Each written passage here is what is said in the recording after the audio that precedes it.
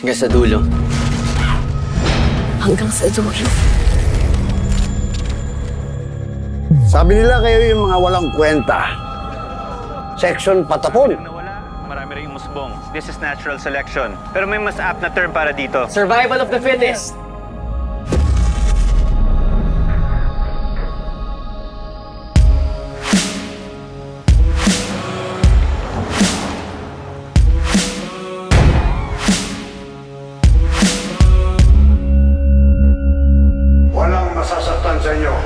Kung magkukooperate kayo.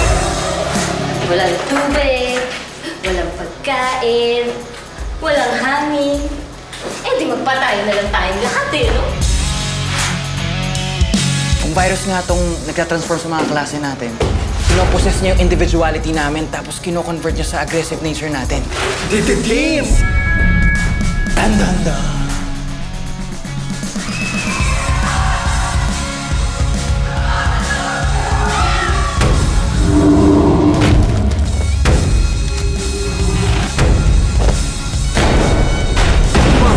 Superheroes.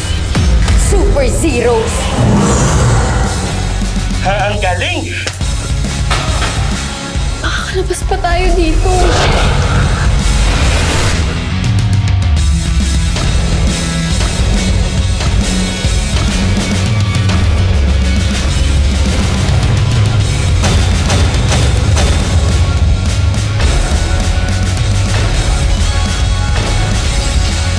Hanggang sa dulo.